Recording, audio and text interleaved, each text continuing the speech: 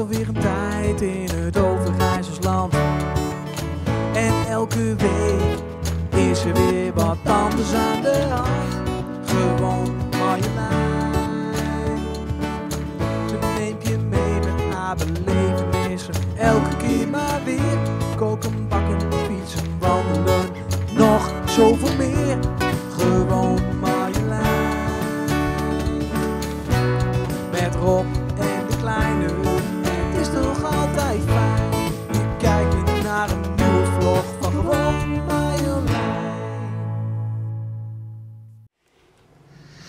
Hey hoi en wat leuk dat je weer kijkt naar deze nieuwe vlog. Thanks voor de lieve en leuke reacties op de vorige vlog en vlogs.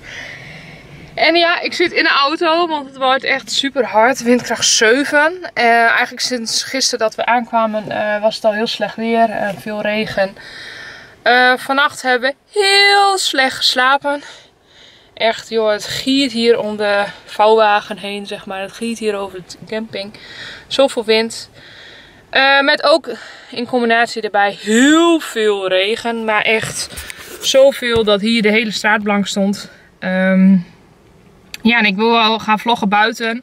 En ik zou ook wel beelden vanaf buiten laten zien. Maar het is gewoon echt gewoon... Ja, er is gewoon te veel wind. Dus dat is wel vervelend. Nou, gelukkig heeft de vouwwagen het overleefd. We hebben alleen een beetje problemen met de rits. Maar dat komt ook deels door de wind. Want je krijgt de rits heel moeilijk dicht omdat continu die wind op het doek staat. Eh Lin heeft desondanks, dus na aanleiding van het regen en de wind, heeft ze heel goed geslapen. Dat had ik echt niet verwacht. Vannacht alleen was er om 4 uur echt een hoogtepunt qua regen en wind. En dat vond ik zelf echt best wel beangstigend. Eh, Lin was ook echt gillend wakker geworden. Dus die hebben anderhalf uur in bed gehad. Nou en om 4 uur was natuurlijk ook vrouwenvoetbal erop. Dus we hebben de eerste helft nog gezien. Omdat we toch aan het wachten waren totdat het, eh, nou ja, de storm, zeg maar, wat ging liggen. En toen heeft Lin eigenlijk nog wel weer een, eh, stuk geslapen.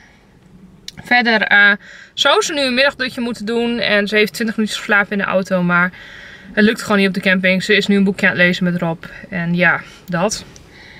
Eh, koken gaat trouwens heel lastig met die harde wind. Dus we moesten het hele kookstel naar binnen zetten.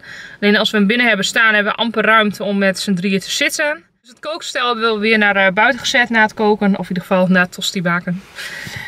Maar verder, eh, mooie omgeving. We zijn vanochtend even naar Knokken geweest. Het is natuurlijk zondag, dus er is niet heel veel open. Maar goed, door die wind is er gewoon heel weinig te doen. Maar ziet het er ook niet zo heel mooi uit. De zee daarentegen, ga je zo meteen zien op de video. Die is echt wel heel wild en nou ja, ruig en mooie witte schuimkoppen erop.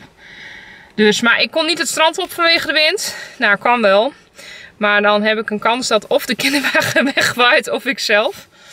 Dus dat heb ik dan niet gedaan. Ik wilde komen nog wel in een vlog een keertje binnenkort. Ehm, dus ja, ik ga zo nog even heel snel in vogelvlug laten zien eh, hoe onze plek eruit ziet. We hebben trouwens ook privé sanitair wat echt super chill is.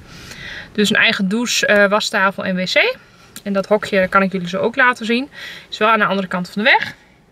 En verder mogen we ook trouwens gebruik maken van dit sanitair. Daar zit een bad voor Lin. Dus mocht ze niet onder de douche willen, eh, zou ze daar in het bad kunnen. En verder, ja, we zijn gistermiddag dus rond 2 uur aangekomen. Maar ja, door de regen en de harde wind. En voornamelijk gistermiddag de regen. eh, hebben we de halve auto nog vol liggen met spullen. Omdat we er gewoon niet aan toe komen om eh, ja, alles droog binnen te krijgen. Dus ik heb gewoon even een heel snel selectie gemaakt van deze dingen.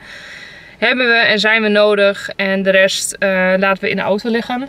Dus ja, ik hoop trouwens dat deze vlog op tijd online komt. Ik ga mijn best doen, maar het is nu al 1 uur geweest.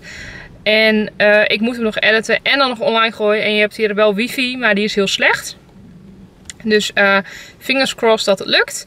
Ik ga snel nog even een rondleiding doen. De vlog is iets korter dan anders, maar dat komt ook omdat ik weet eh, ja, dat de wifi slecht is. Dus ja, dan is het weer zonde om een hele lange vlog te maken en dan lukt het wellicht niet. Dus ik ga heel snel een rondleiding doen. Je gaat nog een video zien van knokken. En dan sluit ik hierbij ook de vlog af.